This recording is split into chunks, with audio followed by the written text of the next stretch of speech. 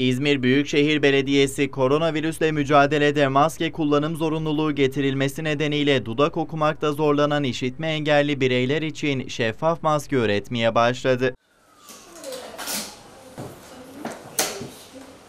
Şeffaf maske temin etmek isteyenlerin İzmir Büyükşehir Belediyesi Konak Engelli Hizmet Birimi, Karşıyaka Sağırlar Derneği, Bornova Sessizler Spor Kulübü Derneği ve Torbalı İşitme Engelliler Gençlik ve Spor Kulübü Derneği ile iletişime geçmesi yeterli olacak.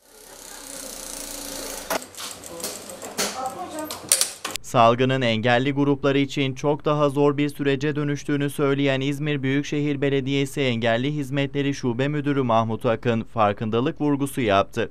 Kullanılan maskelerden kaynaklı olarak iletişimde güçlükler yaşadık. İzmir Büyükşehir Belediyesi engelli bireylerimizin toplumla olan iletişimini kolaylaştıracak şeffaf maskeleri üretmeye başladılar.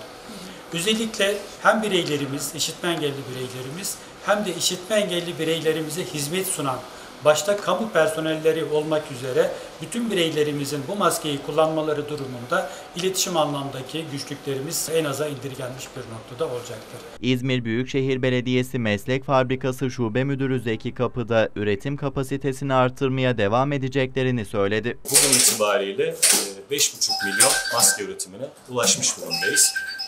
İşitme engelli bireylerimize yönelik dudak okumaya uygun maske üretimine başladık. E, Bundan sonraki süreçte de e, İzmirli hemşehrilerimizden gelen talepler doğrultusunda üretim kapasitemizi, üretimimizi çeşitlendirmeyi ve şekillendirmeyi e, planlıyoruz. Bu şekilde çalışmalarımıza devam edeceğiz.